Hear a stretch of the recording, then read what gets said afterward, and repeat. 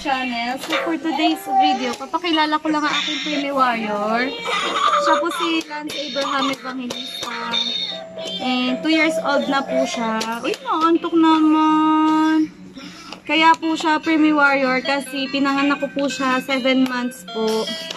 One week po ako na-admit. Kaya po ako na premature birth kasi ah, placenta previa po ako. Yung inunan ko po is nakaharang sa daraanan ng baby. So, delikado po siya. And, nung 3 months po ako, nung 3 months po akong buntis sa kanya, um, na nagkaroon po ako ng spotting and ayun po, pinatigil po ako ng OB ko sa work. Pinatigil po ako ng OB ko sa work kasi po, delikado po yung pagbubuntis ko noon, masyado po ako masela. And, ayun po, um, hanggang sa hindi na nga po ako nakabalik sa work, 7 months. Hindi na nga po ako nakabalik sa work since nung na-bed rest po ako. 5 months po yung chan ko noon. Nagkaroon po ako ng bleeding. Ah, doon po kami natulog ng husband ko sa hospital dahil nga po inoobserba inoobserbahan po ako. Ito ko na naman.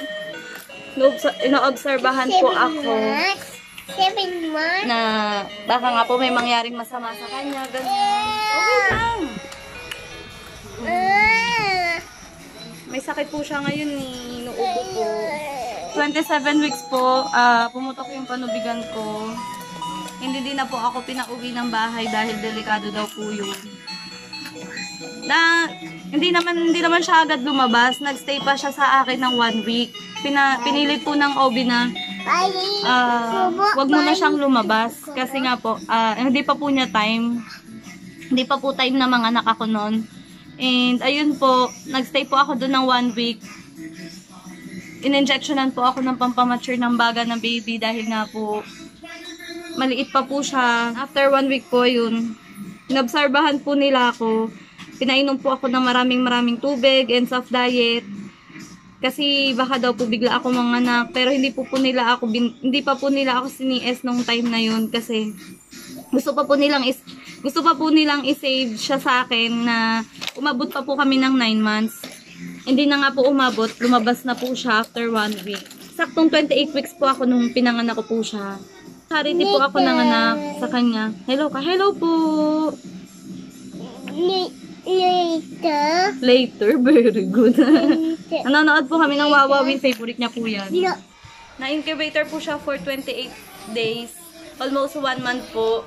And may mga test din po na ginawa sa kanya. Next-ray po yung ulo niya. Tinig, tinignan po yung baga niya. Eh, na, na-oxygen po siya. Madali lang po siya natanggalan ng oxygen kasi po naturukan nga po siya ng pampamatured ng baga.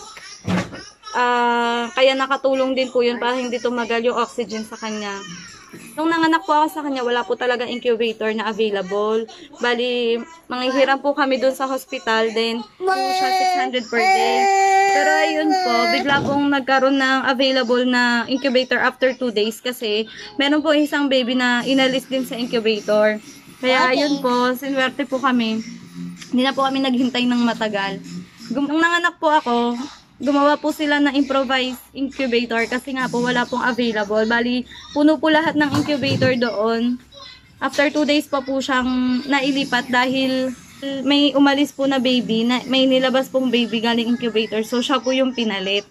Then, tumagal po siya ng 28 days po doon.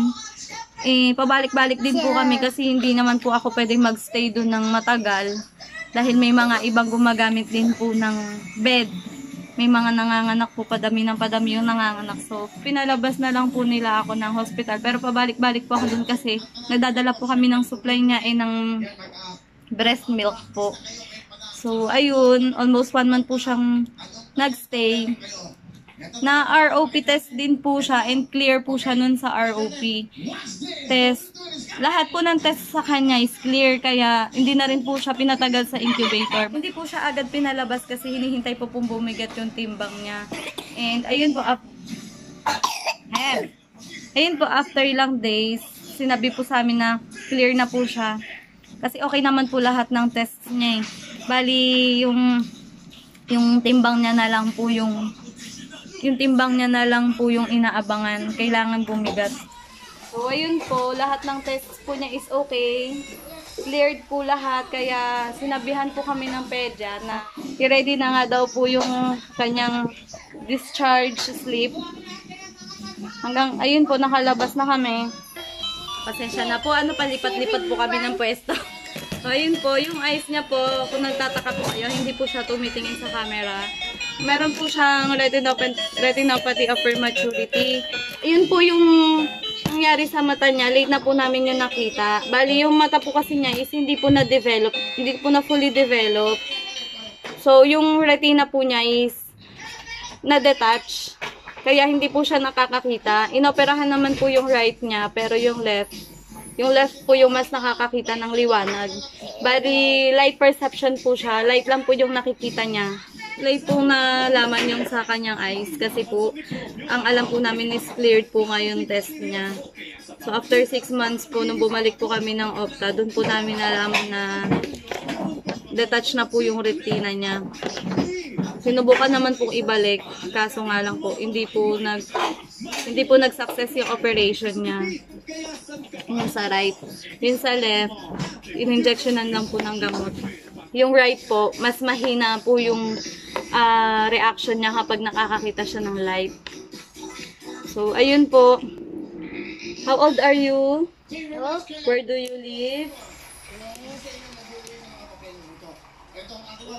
Mhm, Where do you live?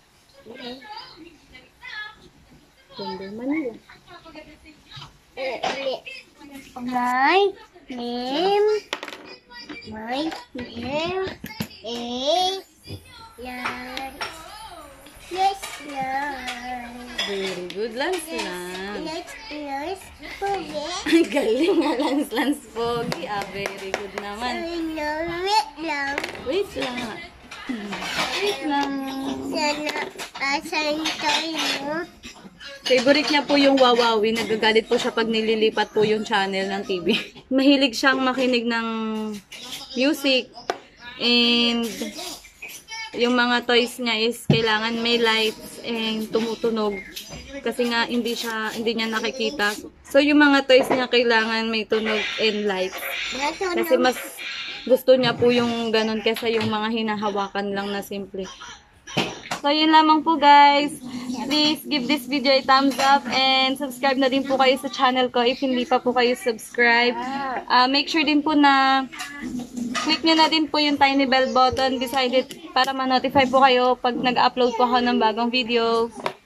So, yun lamang po guys. Thank you for watching. Bye! Bye! May ubo po siya ngayon. Pasensya na po. Pasensya na po magulo yung aming background pa iba-iba po. Bye! Bye na. Bye! Dali, sabi mo daw. Sabi mo. Bye! Anak. Sabi mo dali. Bye! Bye, Ina. Galing. I love Bye, you. Ina. Ingat po kayo. Take care. Not iyo. Ingat kayo. Keke. Take care. Very good. Not